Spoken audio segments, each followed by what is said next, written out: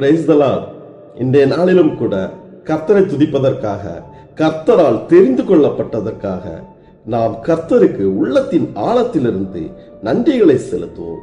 இன்றைய நாளிலும் சங்கீதக்காரன் புஸ்தகம் இருபத்தி ஆறாவது அதிகாரம் பனிரெண்டாவது வசனத்தில் சபைகளிலே நான் கர்த்தரை துதிப்பேன். சங்கீதக்காரர் தாவித ராஜா சொல்கிறார் என் கால்கள் செம்மையான இடத்தில் நிற்கின்றன. சபைகளிலே நான் கர்த்தரை துதிப்பேன். ஆம் தேவனுடைய அவருடைய கால்கள் வலிமையாக இருந்தன.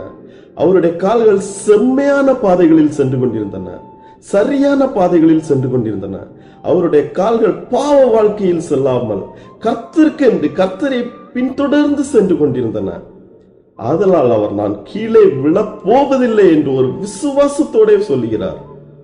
நான் எக்காலத்திலும் சபைகளிலே கர்த்தரை நான் துதித்து கொண்டே இருப்பேன் என்று சங்கீதக்காரர் தாவிது ராஜா சொல்கிறார். ஆம்தேவனுடைய பிள்ளைகளே சத்துருக்கள் அவரை துரத்தின போதும் எருசலேமை விட்டு வனாந்தரத்திலேயும் காடுகளிலும் குகைகளிலும் அவர் ஒளிந்து வாழ்ந்து கொண்ட போதும் கூட அவர் சொல்லுகிறார் எருசலேமில் என் தேவாலயம் இருக்கிறது.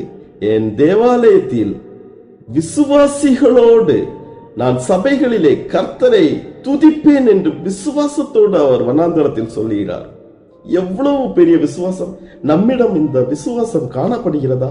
இன்றும் நாம் அநேக சூழ்நிலைகளில் ஓய்வு நாளில் நாம் சபைகளுக்கு செல்லாமல் வீட்டில் உறங்கிக் கொண்டு அல்லது நமக்கு வேற ஒரு பணிகளுக்கு சென்று நாம் வாழ்ந்து கொண்டிருக்கிறோமா?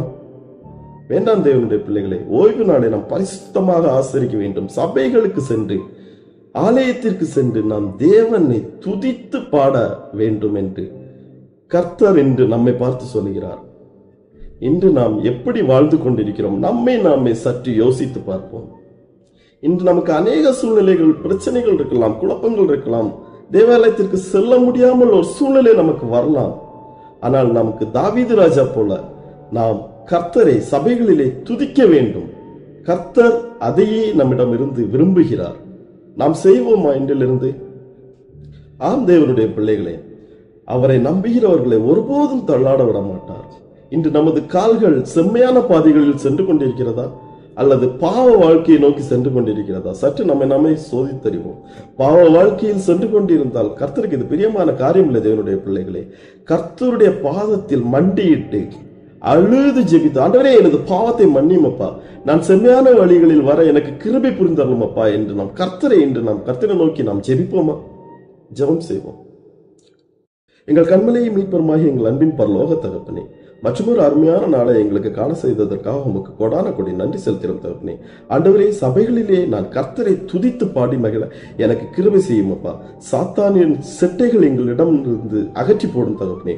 உமது அருணான ரத்த கோட்டைக்குள்ளே எங்களை கண்மணி போல் பாதுகாத்து வழிநடத்தி இந்த நாள் முழுவதும் எங்களுக்கு ஆசீர்வாதமான நாளை மாற்றித்தர தேவனே நீர் கிருபை செய்ய வேண்டும் என்றாடிற சுவாமி. இயேசு கிறிஸ்துவின் மூலமா ஜெபிக்கிறோம். எங்கள் ஜீவனுள்ள நல்ல தகப்பனே.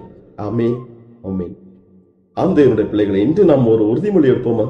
சபைகளிலே எந்த சூழ்நிலைகளில் இருந்தாலும் சரி நான் எந்த பாடுகளில் இருந்தாலும் சரி எந்த கஷ்டங்களில் இருந்தாலும் சரி சபைகளிலே நான் கர்த்தரை துதித்து பாடுவேன் என்று இன்று நாம் ஒரு உறுதிமொழி எடுப்போமா? கர்த்தர் இன்று இந்த நாளை நமக்கு ஆசீர்வாதமான நாளாக மாற்றி தருவார் ஆமேன்.